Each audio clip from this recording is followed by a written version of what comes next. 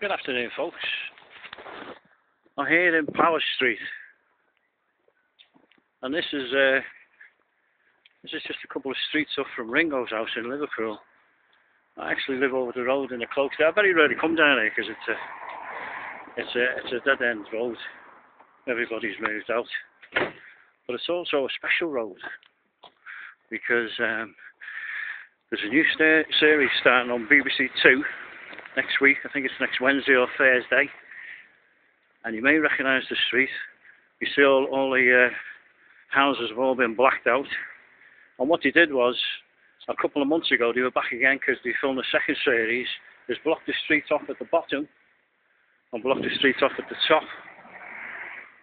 And it's an absolutely fantastic series. They got the atmospheric conditions really, really right for the 1920s. Has anybody guessed yet? I reckon this road is about what, 150 metres long. But it's a fantastic show. Do you give in? Well, it's Peaky Blinders. Cracking show with Sam Neill.